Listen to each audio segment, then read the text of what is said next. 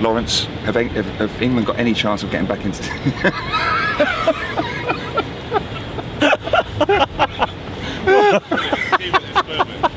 That'll do.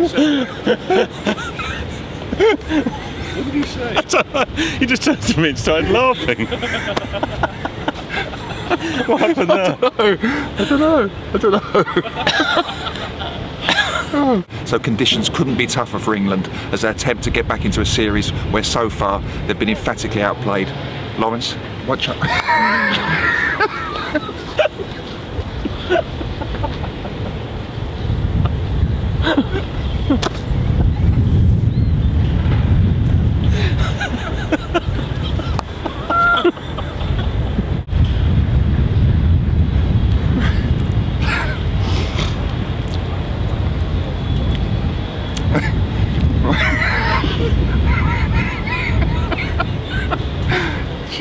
Jesus.